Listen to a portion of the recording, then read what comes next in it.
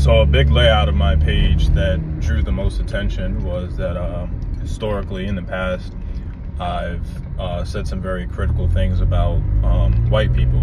And it's from my experience and the experience of many other black Americans that it is almost impossible to be a black individual growing up in America and learning about slavery and history and the atrocities committed against black people to not at some point be critical of white people. However, nowadays, um, I have somewhat shifted my point of view and broadened my perspective where I don't feel as though it's appropriate to condemn white people nowadays for things that happened back then. Furthermore, I do blame slavery and segregation and Jim Crow for why black people are in the position that they are in now simultaneously, I can also be critical enough of my own people to determine that the only reason why black people are still in this position is solely due to the collective inability or unwillingness to get out of this situation. And it takes a very, I know it's, it might sound coonish or Uncle Tomish, but it takes a very strong black man to be able to highlight the wrongs of his people um, I'm not going to be used as uh, any type of spokesperson or puppet for the deconstruction of my people. So this isn't me coming out and saying, oh, well, um, white people are the best and we're doing so bad. This isn't what I'm trying to do. Um, in actuality, I'm trying to achieve the opposite of, of any type of uh, inferiority or superiority being placed on one another. It is all about the deeds of the individual not even so much the culture as a lot of people say because they say it's the culture. You can be brought up in a certain culture and, and, shy away from it. Or you can have different perspectives of how you identify yourself with that culture. So it's all about the individual at the end of the day. Because from a cultural standpoint if you want to look at it from a religious standpoint uh, you have had christians that have historically committed atrocities and you have uh, christians that follow the book by the book. Same thing with muslims uh, practitioners of, the religion of Islam, uh, many people who have done voodoo have used it for good or bad. So it's all up to the individual, regardless of how you're brought up. If you're brought up in a single family home or a two or a single parent home or having both parents, you could still be either bad or good. If you're white, you can be bad or good. If you're tall, short, black, brown, yellow, turquoise. It doesn't really matter what your circumstances are. You could have had a traumatic thing happen to you, and you can either take out your frustrations on the world or you can try to do whatever you can to become stronger from it and not let it bring you down. It's all about how you respond to what you go through in life. So it's not about what you go through in life, it's about how you deal with those circumstances being presented to you in that lifetime. So if somebody steps on your foot you can feel justified for uh, attacking this individual, but another person will acknowledge that it was a mistake and say, oh, pardon me, and you guys can both apologize to each other for that miscommunication and walk in the opposite direction. It's too often that a lot of uh, individuals will be um, emotionally unintelligent and, and create a big problem out of nothing. And um, not to veer off topic too much, uh, just just to quickly summarize everything, I don't want to make the layout of my page um, founded on uh, demonizing any group because I've come to the point where I have acknowledged that black people were very, very involved in the deconstruction of black people. Um, arguably the greatest Native American civilization that has ever lived, the Mexica, um, the Aztec society. It was only conquered in two years by African and European Spanish conquistadors. And why? It's because of the participation from other natives. Uh, you had other Native American tribes, the Lakota against the Pawnee, the Comanche that were going around doing things. You had whites that stood up for black people and even died during the civil rights era because they were marching alongside civil rights leaders like literally getting assassinated for black people standing up for our rights here.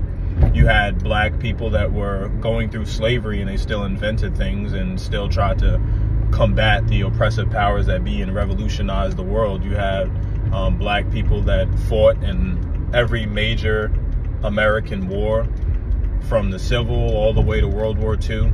You know, uh, Native Americans fought in the wars as well, the Navajo Code Talkers. So it's more of a mindset because historically it wasn't a race thing up until really the 17 and 1800s. But before that, uh, you had many alliances racially. And once we can start to see as uh, human beings the collective things that we have in common, we will start to really come to a point where we acknowledge how insignificant color is and how immaterial these things are. And once we do that, we can start to come to a point in time where we can live together. I still believe in the idea of not racial separate uh, segregation, but racial separation, at least temporarily, until black people can get on the right track. Because one, any any time we will integrate with other people, anytime we are successful, I believe personally that it'll be attributed to that integration. Um, and we won't get a fair shake and we won't be able to get full acknowledgement of our of our actions and our success if we all of a sudden live amongst white people and now we're successful. Like we've seen this happen many times where our achievements were overshadowed because we've lived lived amongst white people. So i believe if we can identify ourselves with a strong work ethic a strong sense of cultural roots um, whether you're Christian, Muslim, whatever you practice, as long as you believe in treating people with respect and kindness, having humility, having a good, strong work ethic, um, pursuing education however you see education uh, to be expressed by yourself, whether it be math, science, literature, astronomy, and trying to contribute something to the society that precipitated you. And identifying all the things that we need to have in common with each other. Every major war has always been because of the lack of acknowledgement of things that we have in common uh, from a colonial standpoint I'm talking about.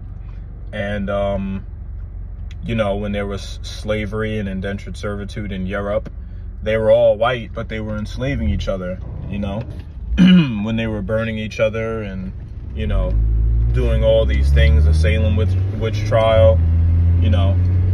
Uh, it wasn't until slavery where white people started to realize what they had in common. And that's why they became more powerful because they identified themselves under a white banner.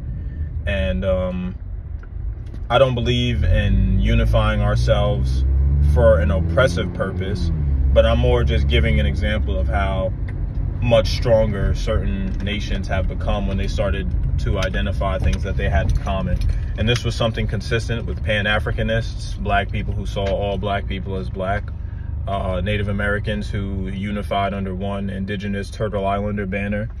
And um, if you look at things from a historical standpoint, perhaps if the Lakota and the Pawnee, they saw each other as one, there wouldn't have been so many problems. If blacks didn't see each other as uh, Ashanti or uh, Dahomey against Yoruba, perhaps the slave trade wouldn't have happened. So these are things that I'm highlighting that the deconstruction of societies and the decline of populations of people have always been mostly because of the lack of acknowledgement of the things we have in common. And from a psychological standpoint, uh, increasing your intra and interpersonal intelligence is the only surefire way to uh, declare or rather uh, ensure that success will be reached by us if we can realize what we have in common and uh, put aside our racial and color differences. I think we can achieve a lot of things together, but every time we engage in arguments, uh, putting one against the other on the basis of race or color, um, we start to really blind ourselves from the important aspects of what constitutes us as uh, human beings.